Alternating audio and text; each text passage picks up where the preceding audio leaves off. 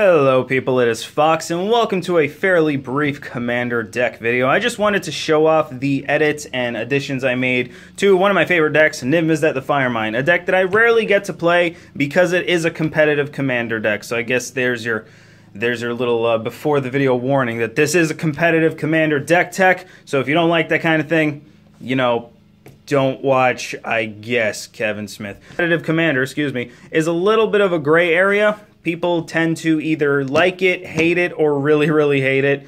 Uh, Commander's usually a casual format, so I can kind of see why the competitive angle can get a little, you know, not liked. However, that's how I grew up learning Commander was in a competitive scene, and Niv Mizzet has always been a deck that I've stuck with. It is probably one of my only real combo Commander decks, one that usually focuses towards only one combo. I enjoy playing it anytime I can play it, and I wanted to show off just a slight couple cards that I added here and there to make it very, very, uh, efficient, essentially. Alrighty, so let's start with the lands, because those are boring. Three mountains, and I believe eight islands. Six, seven, eight. Yep, eight islands. One of them is not a foil bucket land. I think this one. Yep, this is not a foil. I hate it. You go over here. Uh, steam Vents, Temple of Epiphany, Sulfur Falls, Cascade Bluffs, Scalding Tarns, Spire Bluff Canal, and Shivan Reef. No, I don't have a the volcanic island yet. Okay? I'm not completely made of money, he says as he shows off Assign's steam vents. Gemstone Caverns is an interesting card. It lets you play a land even if it's not your turn, so it helps you essentially start to ramp up to Niv combo, so you get a little bit of an edge in there. Tolaria West to get some of the more utility lands, uh, to get some of the utility lands, I can speak correctly. Also get Pact of Negation if I need it, or uh, a Mana Rock. Reliquary Tower, because you're going to have a huge hand size. Maze of Ith, uh, you get hated really quickly in games with Niv uh, usually the minute you start. So you kind of need something to take the edge a little bit away from you so you don't get hit with huge commanders. Mana Confluence, I hate Painlands, but it is what it is. Citadel of the Excavations, I call this Snapcaster Mage Mana because it taps for one in blue. Get it? Minamo School at Water's Edge, untap your commander so you can facilitate a combo. Command Tower, Ancient Tomb for more mana ramp. Riptide Laboratory, Cavern Soul so your wizards don't get countered unclaimed territory because I'm running quite a bit of wizards, and Niv is a wizard, so, you know, you call wizard. Hall of the Bandit Lord, Niv needs haste. Um, not all the time, but there are times when he really needs haste, so that 3 life doesn't really matter. Temple the False God for more mana.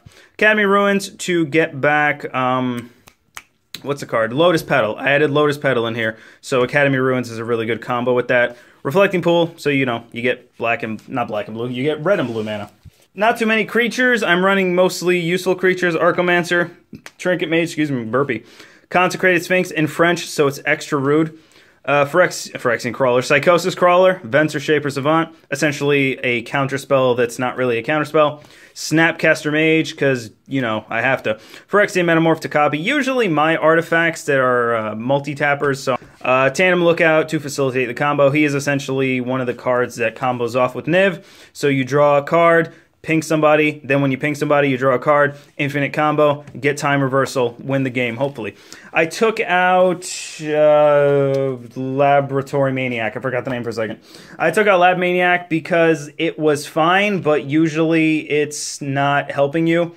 Um, I have played it a couple times. I won one time with it, but it does usually get killed off quick or countered, just straight up countered, or you know they don't let it get off. They they'll they'll stifle that combo before you really get to do anything. So Planeswalkers, got myself a Jason Mind Sculptor uh, Tezzeret the Seeker to untap some artifacts and search for artifacts because you can zero him and search for your zero artifacts. Yay! And then a signed Dack Fayden that my friend Pete gave me. Good card. Helps, uh, again, to facilitate Niv combo. Anything that lets you draw a card that stays on the field is always good. You don't need haste on Planeswalkers, so you can essentially play him down while you have Niv and something on him, either Curiosity, Ophidian Eye, or Tandem Lookout, and then you get the combo off and have some fun. For instants and sorcery, starting off with sorceries, you got Ponder.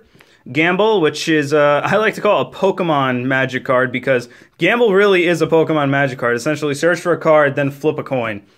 You know, it, it's a gamble.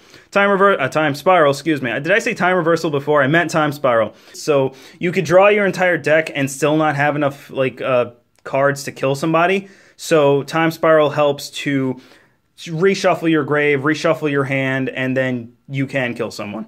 Blasphemous Act, not a lot of Wraths in red and blue, so gotta run one. Wheel of Fortune, because, you know, draw. Serum Visions, Ancestral Visions, Preordain, Merchant Scroll to get some cool instant stuff out. Time Warp, uh, Turnabout, which is uh, probably one of my favorite cards. This has helped me win many times. Usually I'm targeting my artifacts because I have a lot of artifacts to tap for a ton. Hinder for some counterspell. Intuition, you know, to get your combos up. Dramatic Reversal is a newer card I added, and I love it. Untap all non-land permanents you control. Again, it helps to facilitate Niv. It untaps Niv. It untaps your artifacts. It untaps your Planeswalkers if, you know, you're playing against a really funny Derevi deck. Impulse, Trick Bind, Capsize, Blue Sun Zenith for Mass Draw, Psych Rift, because, you know, I'm blue.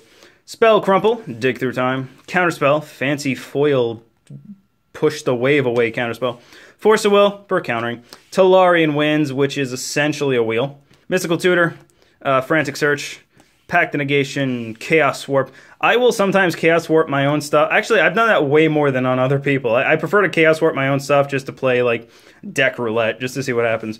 Cryptic Command, uh, Counterflux, Brainstorm, yes, it's Minecraft. I altered it very long time ago when I liked Minecraft. Shut up. And Swan Song. Go on artifacts because that's where I've added quite a bit. So Chromatic Lantern, Commander Sphere, Temple Bell helps to facilitate Niv combo, yada yada yada. Sol Ring, Mana Crypt is a new addition. Uh, it's Mana Crypt. It taps for two. It costs nothing. You can get it out with Tezzeret for free.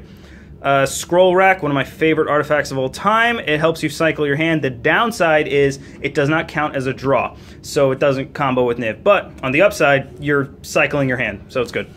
Uh, Mana Vault, Chrome Mox, another zero drop. Lotus Petal, which I just added, and it did quite a, a good job at, uh, in the SCG Con.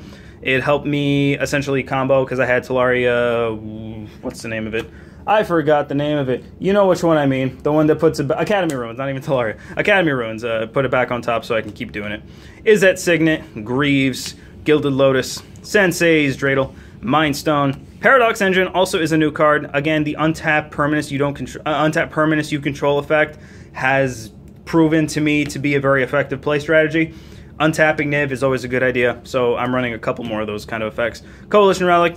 And Mirage Mirror mostly is for fun. Um, I'm usually targeting my own stuff to like let it become. Or you know what I can do? Um, in response to someone destroying Niv, I can target Niv.